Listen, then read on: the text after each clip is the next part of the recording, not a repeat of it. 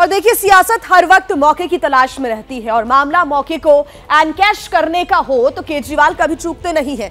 शराब घोटाले में सीबीआई की पूछताछ के पहले एपिसोड का सामना कर चुके अरविंद केजरीवाल। विधानसभा में सियासत का किस्सा छेड़ दिया और कहानी की आड़ लेकर प्रधानमंत्री मोदी पर उन्होंने वार किया। देखिए।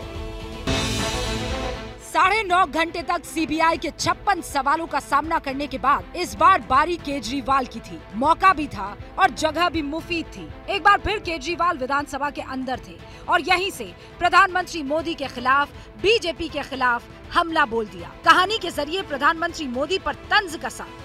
जब बच्चे का जन्म हुआ तो ज्योतिषी ने कहा, लड़का बड़ा होके बहुत बड़ा सम्राट बनेगा। बड़ा होने लगा, स्कूल, गाँव का स्कूल था, स्कूल जाता था। उसका पढ़ने वढ़ने में मन नहीं लगता था। तो चौथी के बाद उसने किसी तरह से चौथी करी, चौथी के बाद उसने स्कूल छोड़ दिया। गाँव के पास एक रेलवे स्टेशन था। घर का खर्चा चलाने के लिए वो लड़का वहाँ स्टेशन पे चाय बेचता था। लड़के को भाषण देने का बड़ा शौक था। अब ज्योतिषी ने कहा था, लड़का बड़ा हुआ बड़ा होके एक दिन उस महान देश का वो राजा बन गया। पूरे देश में उसका नाम हो गया चौथी पास राजा।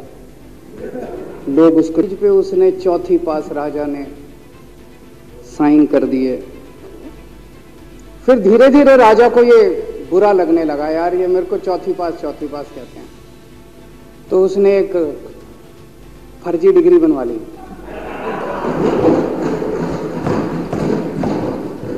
कहीं से फर्जी डिग्री बना के ले आया एमए की। बोला मैं एमए हूँ। तो लोगों को लगा यार ये तो ठीक नहीं है ये तो फर्जी डिग्री हम बना के ले आया हमारा राजा। तो लोगों ने आरटीआई डाली। जो आरटीआई डालता उस पर पच्चीस हज़ार रूपए जुर्माना। अरविंद केजरीवाल ने इसके बाद अडानी के नाम पर प्रधानमंत्री मोदी को घेरने की कोशिश की। केजरीवाल के अटैक पर बीजेपी की तरफ़ से भी काउंटर अटैक हुआ। यही तो अहंकार आज दिल्ली देख रही है।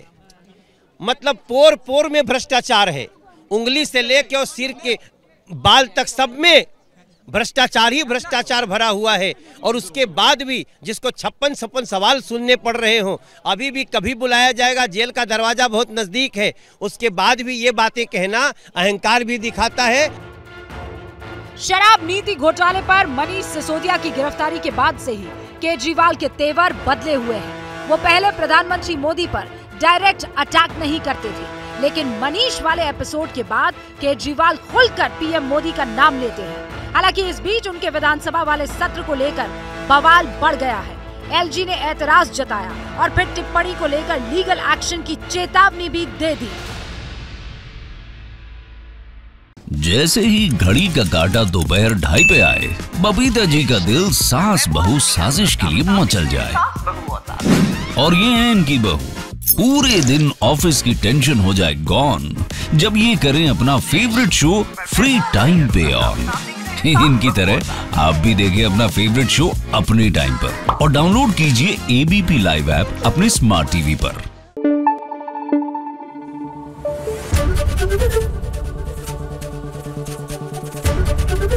एबीपी न्यूज़ आपको रखे आगे।